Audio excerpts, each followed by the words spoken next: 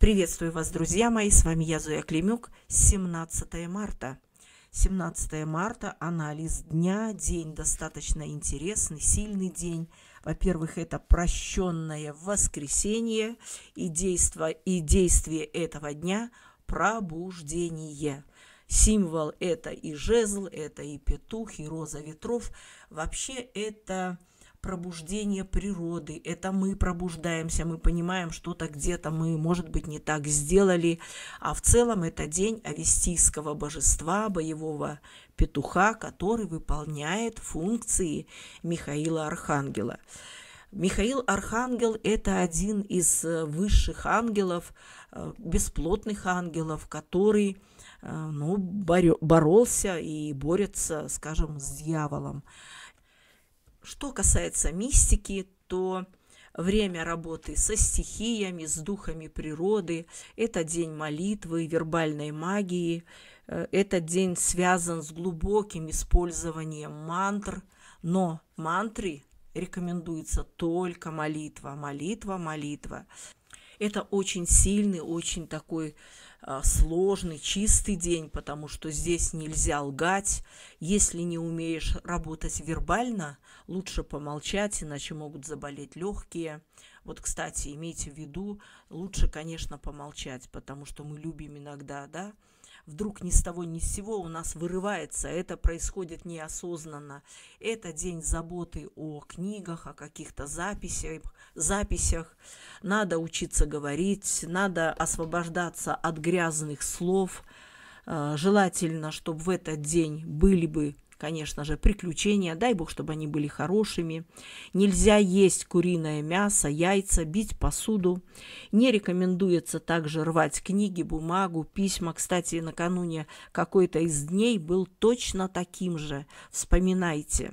Что касается социального влияния, то он активный, удачный, но неудачный для преступников.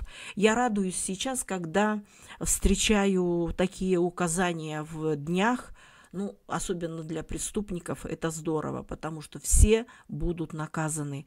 Есть закон государства, а есть закон Божий, и есть закон духовный между людьми. Очень часто совершают такое грехопадение, мне положено по, э, скажем, с точки зрения закона государства, да, и человек идет и ущемляет, э, то есть грабит, отнимает что-то у обычного человека только потому, что где-то у власти хорошие в кавычках люди написали такие законы и доставляет много неприятностей, например, детям, жене, родителям, еще кому-то, соседям особенно. Поэтому думайте, если кто-то от вас пытается избавиться, не надо, не надо. А если это еще вам не принадлежит, не надо мстить, от этого надо уходить. Очень часто сейчас э, дни, которые я делаю аналитику, они кричат, «Э, нет, мы не будем поддерживать преступников. Но это период серьезных провокаций, которые могут доходить до преступления. Поэтому будьте крайне осторожны в храмах, где вы будете появляться. На бытовом плане хорошо покупать вещи, Э, очень плохо увидеть во сне, например, боевого петуха. Это знак может быть катастрофы. Вообще э, боевые петухи, да и просто петухи, скажем так, не обязательно, чтобы он был боевой. Ну, не всегда они в последнее время приносят что-то хорошее. Давайте верить в будущее, что все у нас будет хорошо.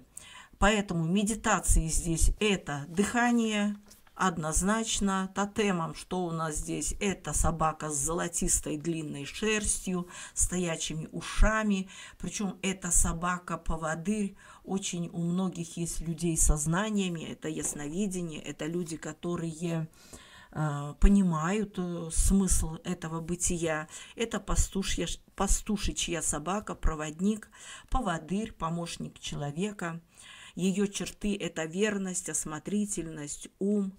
Эта собака постоянно борется с черной кошкой, пантерой, через которую воплощается злая мысль.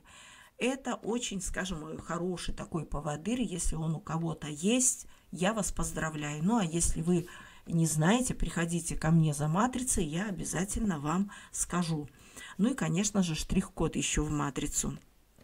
15 тысяч российских рублей стоит матрица со штрих-кодом. Торопитесь. Ну вот, немножко от, отвлекла вас. День достаточно, конечно же, интересный. Надо избавляться от э, злых, лживых э, друзей, от ненужных связей, от слепой веры даже надо избавляться, от слепой. Но в храм, друзья мои, надо ходить. На эту тему мы еще с вами будем, конечно же, разговаривать. Вот таким будет интересный день.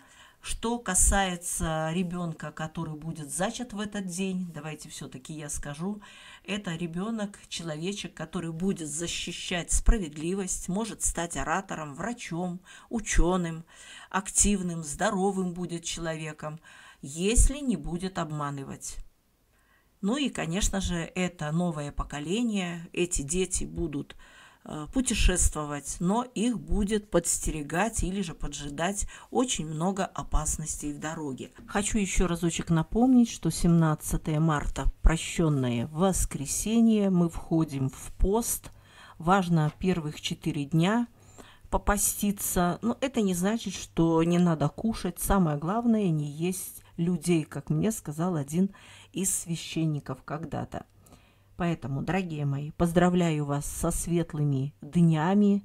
Мы идем к Пасхе, жизнь продолжается, ну и у нас есть возможность попросить у всех или же друг у друга прощения, и я у вас прошу прощения, простите меня пожалуйста, мы очень часто не ведаем, что творим. Ну, а я человек, который совершенно не приемлет агрессию, но уж если меня зацепить, я тогда тоже, конечно же, начинаю агрессировать.